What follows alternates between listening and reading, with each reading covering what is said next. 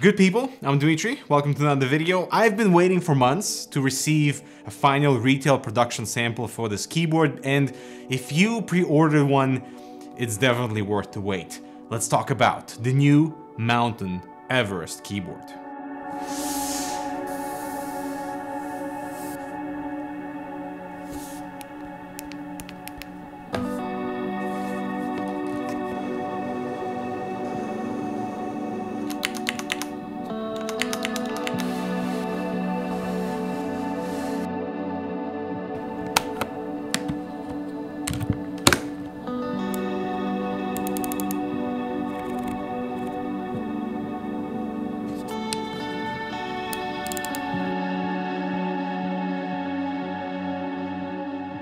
You know, 2020 has been tough. Let's not make our components suffer. Let them breathe, let them relax. With the Eclipse Air series by Phanteks, your hardware will appreciate the size options and you the experience, available for every build at different scales and price points too. They all share the ultra-fine mesh front panels engineered specifically for best airflow with perforations of 1mm that also act as a dust filter. Check out the P300A, P360A, P400A, and P500A down below. The perfect eclipse for 2020. What Mountain is doing here is really bringing some fresh innovation into the keyboard industry that I hope other companies might take advantage of in terms of add-ons and DLCs as I would call them here because what I have here is the Mountain Everest Max keyboard. So basically the, the TKL keyboard with the additional numpad and with that display dial which it's funny to think of Type-C being everywhere on this keyboard. It probably has more Type-C connections than Logitech's entire gaming lineup. Of course, Mountain is selling different tiers of the keyboard,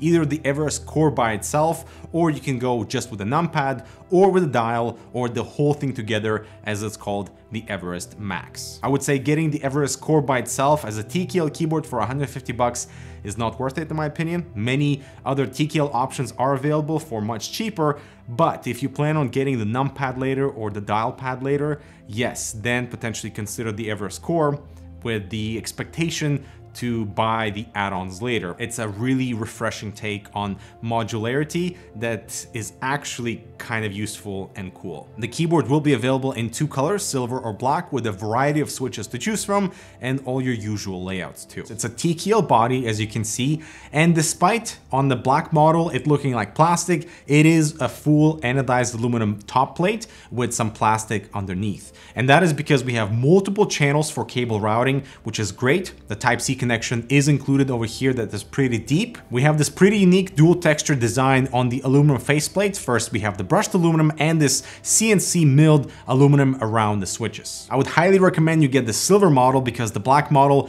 doesn't look as premium and also it will reveal all types of dust and particles that get settled in that pattern and it's not easy to clean. We have perimeter lighting all around the keyboard, but unfortunately it's not really visible to the user, nor does it spill much light to the surface, so it's only visible at an angle and I feel like that's a little bit pointless. The keycaps here are double shot ABS, not as strong or rigid as like your double shot PBT keycaps, but the font is clean and the smooth texture is quite nice for the first like 24 hours and then things get greasy and like just all your oils are visible. The switches are also removable so you can swap them out for your favorite switch if that's what you desire. And my only complaint here is that the RGB illumination is not as bright as on my other RGB uh, clear housing switches. I am told there's some lubing going on and the stabilizers are manually clipped, especially for the spacebar, which is really stable. Here's a sound test, take a listen.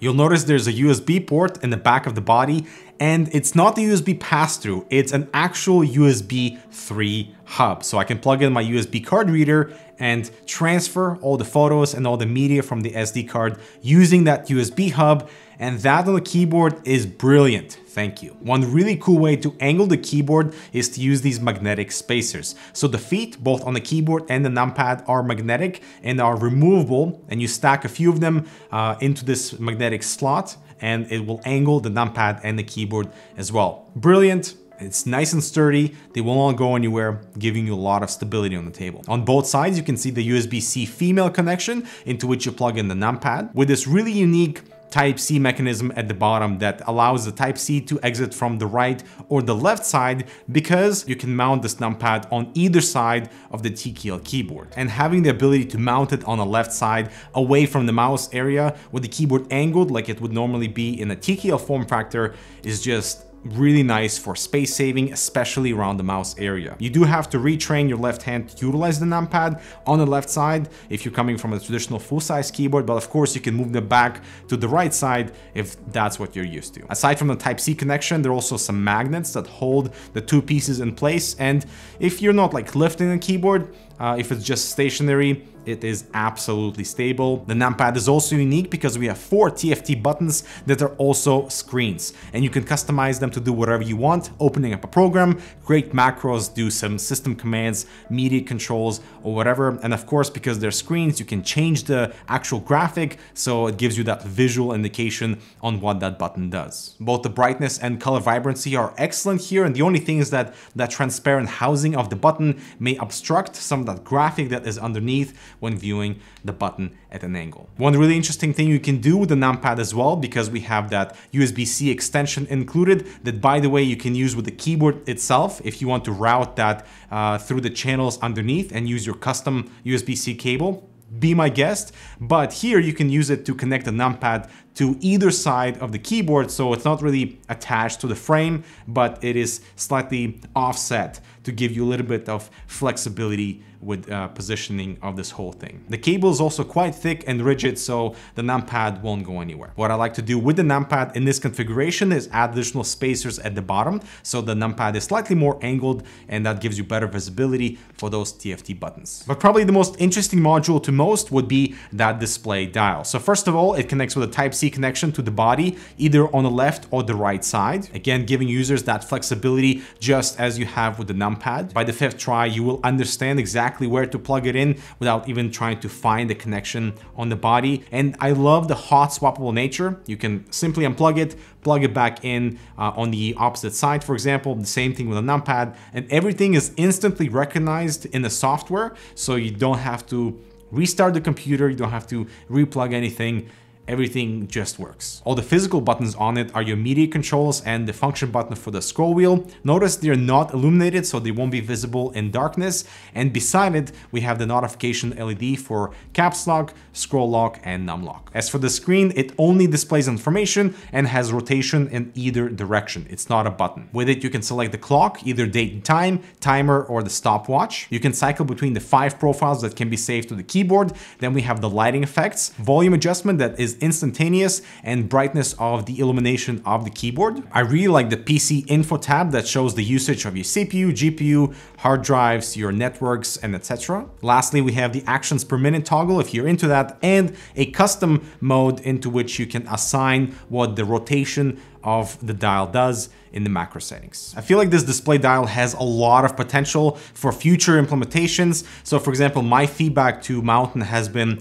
enabling or disabling certain functionalities between each menu. So in the clock, for example, if I don't care about the timer or the stopwatch, let me just deselect them, uncheck them in the software so I don't have to cycle between them when I enter the clock functionality. The same can be applied to your PC info configuration where you only care about, say, GPU temperature and not just usage. You can enable that. Furthermore, when the timer runs out, we have this flashing animation, which I think does the inverse of the screen, and that gives you better visibility uh, in certain conditions. So being able to change the color of the background, for example, would be fantastic. Granted, you can change the accent color in the software from the default yellow, which by the way looks awesome, to something else to match your RGB lighting, for example. At this current state, I think they've perfected the module as best as it can be right now in terms of the actual connection, the hot swappable nature. The software has been super stable, have had zero issues with it, but it is a $70 add-on if you're going from the Everest Core to the one where the display dial is included. So I feel like they must add a few additional functionalities into the driver software for this display dial to be a better value add. Perhaps something with game integrations would be cool or productivity things when an email shows up, you get an email pop-up notification on the screen or something cool where like the screen is pretty good resolution so you can read things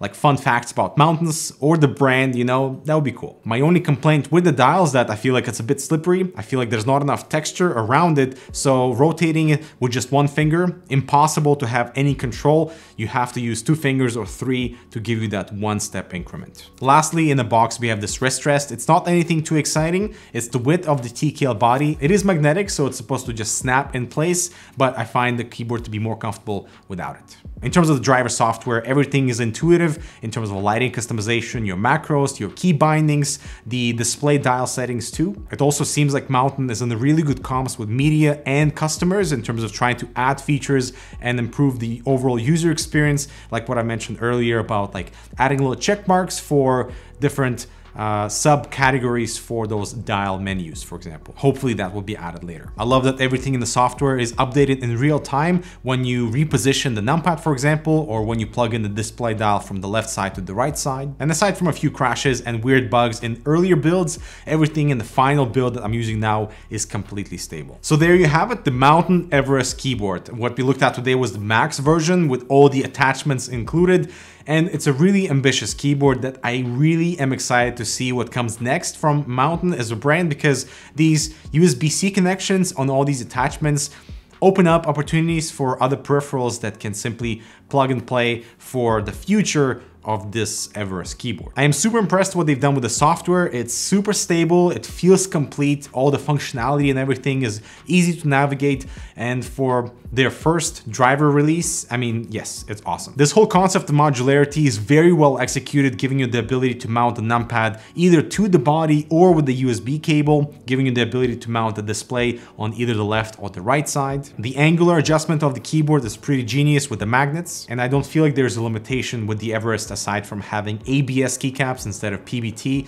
But of course, everything is hot swappable anyway, the keycaps and the switches. I'm really excited to see what the future of that display dial brings to the market because it has a lot of potential for really cool information to display to the user. Uh, it's accessible, it's visible, it's modular, what more could you ask for? All right, guys, I'm Dmitry. Thanks so much for watching. Check out this other relevant content. Subscribe for more. Let me know what you think of the Everest keyboard as the baseline of the core. It's a bit expensive, but as a package, I think they're heading indefinitely in the right direction. Thanks so much for watching. I'll talk to you in the next video.